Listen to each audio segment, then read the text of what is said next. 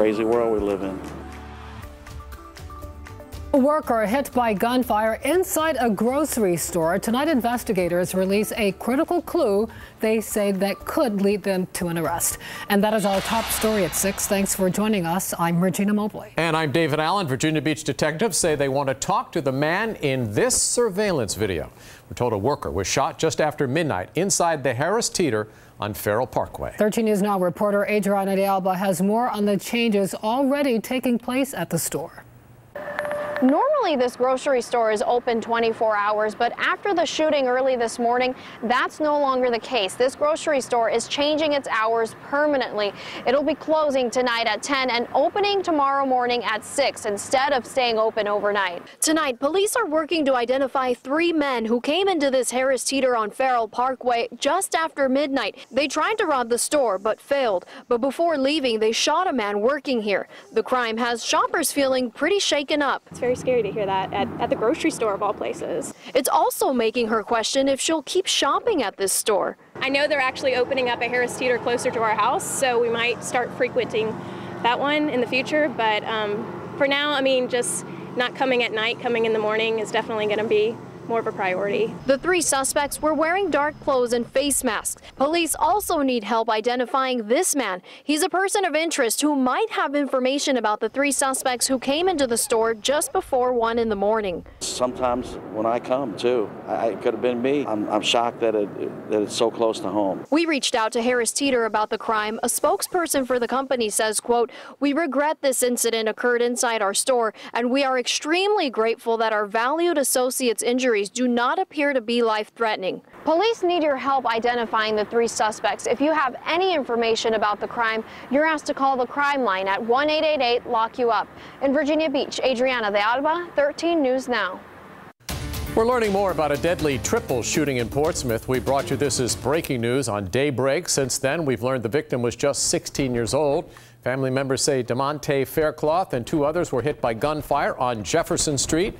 Now police say officers will be out in the community to help those people heal. 13 News Now reporter Chanu Her picks up the story.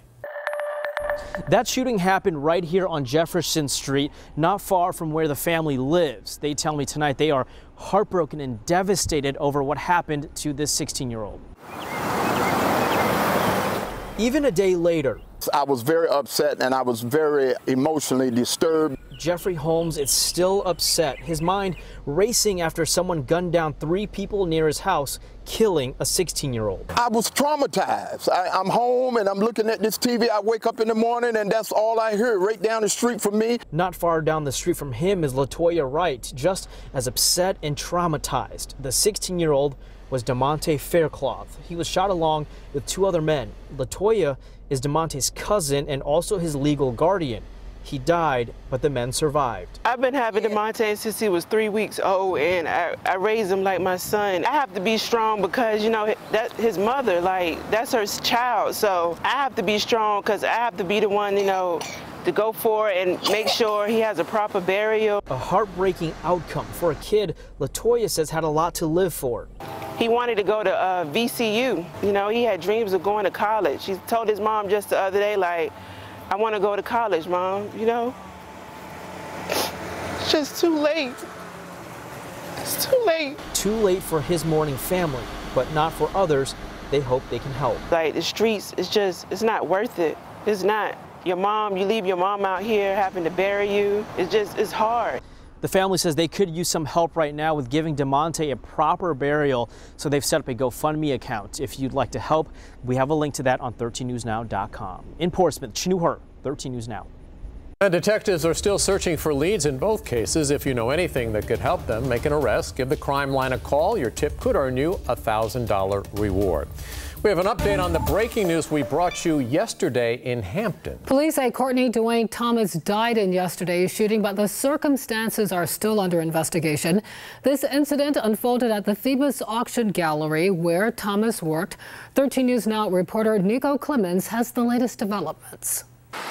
Tonight, we're learning more about the man who police say tragically lost his life in Hampton. It's just sad.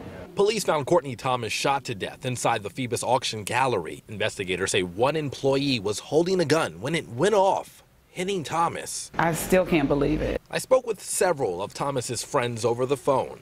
They all describe him as a good guy. He was in the video in card games. Thomas spent many Saturdays at Atomic Comics with a group of friends. He uh, helped us get those things down the stairs over at the auction house. Sonia Lopez is the co-owner of Kiss My Denim, just right across the street. She knows Thomas and the other employee.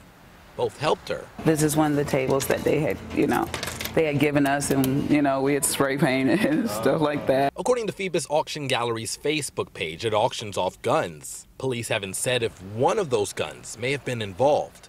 Officers haven't charged Thomas's coworker. Tonight, there are many unanswered questions. It breaks my heart because I know it was, you know, an accident, an unfortunate accident.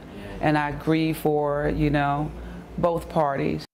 I spoke to one woman who says she lived with Thomas. She says Thomas had no family in the area and she quickly became like a mother to Thomas. She declined to go on camera. And the exact circumstances surrounding this shooting still under investigation.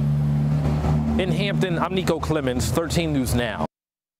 Developing in Norfolk charges and the brutal death of a child move forward in circuit court. A grand jury handed down indictments for Latoya Smith and her boyfriend, Demont Harris. Both are accused in the death of Smith's daughter, Heaven Watkins. We learned plea hearings are scheduled for both Smith and Harris in the coming weeks. We also uncovered prosecutors intend to bring another indictment against Harris. We're told it will be another child abuse and neglect charge dealing with incidents around Heaven's death. Heaven was just 11 years old when investigators say she was beaten to death. The Virginia Beach mother who sparked a nationwide search when she went missing last year faces new criminal charges tonight. Monica Lamping was indicted this week on two felony animal cruelty charges. They stem from two pets dying in a house fire Lamping is accused of setting. Police say she later ran off to a remote eco village with her two children.